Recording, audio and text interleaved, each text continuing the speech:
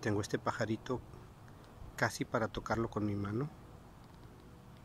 No se mueve, está tranquilo, nomás está observando. Está esperando en, Dios. Probablemente esté herido o enfermo, porque no es normal que, que un pajarito se deje acercar tan cerca. Estoy a menos de un metro de él. Así que este pajarito algo tiene. Usted y yo en ocasiones también estamos heridos, estamos enfermos, estamos lastimados. Igual que Él, debemos esperar en Dios, esperar para ver lo que Dios tiene para nosotros y no apresurarnos a hacer cosas indebidamente que luego nos damos cuenta que nos salieron mal.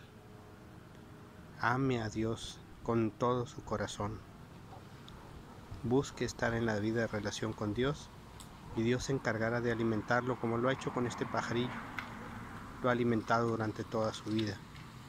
Y ahorita lo está poniendo cerca de mí, no sé si para alimentarlo, para cuidarlo o para ayudarlo de alguna forma. Igualmente usted ame a Dios con todo su corazón y espere en Dios lo que Dios tiene preparado para usted. No se apresure a hacer cosas indebidas. Busque esperar en Dios y Dios le dará la respuesta que usted necesita. Dios lo bendiga. Nos vemos en el próximo video.